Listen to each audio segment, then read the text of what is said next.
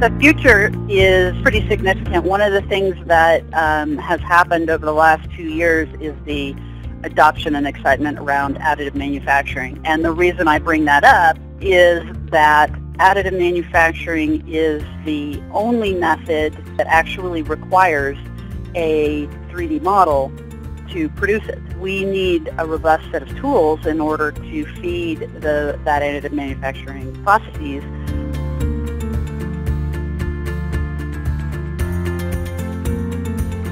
I knew that additive manufacturing was growing and changing quickly enough that we would have some urgency behind the process to get a standard out. I, I think the future is it's going to keep changing and adopting and experimenting more and more and we're going to see what I would hope to be is, you know, kind of that asymptotic approach to a really great process and, and an improved process overall for product definition.